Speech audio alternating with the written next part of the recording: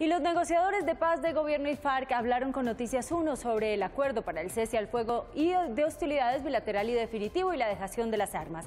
Este fue el cara a cara que logró Patricia Uribe con Sergio Jaramillo, alto comisionado de paz, e Iván Márquez, jefe negociador por las FARC. No, los campamentos tendrán el tamaño que requieren los campamentos, pero un campamento es un asunto de que puede tener 200 eh, metros por 200 eh, metros. Quisiéramos eso sí sugerir al gobierno de Colombia como tener un cuidado en el manejo de esta información.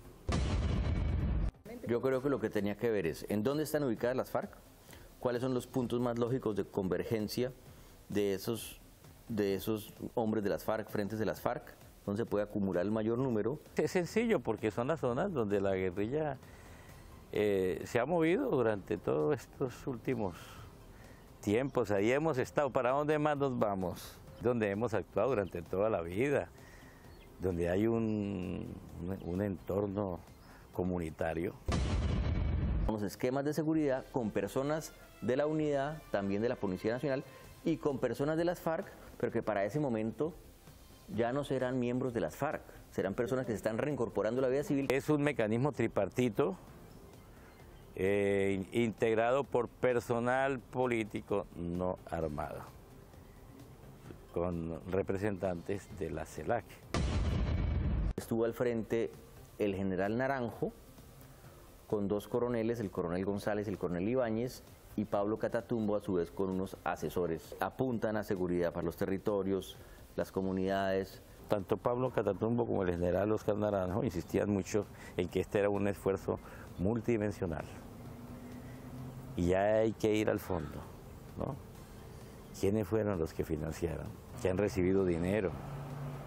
que están trabajando con estos grupos paramilitares. Tanto Sergio Jaramillo como Iván Márquez destacaron otros temas que hay que trabajar. Jaramillo, de un lado, dijo que habrá una unidad especial contra el paramilitarismo en la Fiscalía. desmantelar esas organizaciones y organizaciones que amenacen, eh, que representen una amenaza especial para la construcción de la paz. Y que el punto de las armas no fue nada fácil. El tema de las armas fue el tema que más discutimos durante la fase secreta.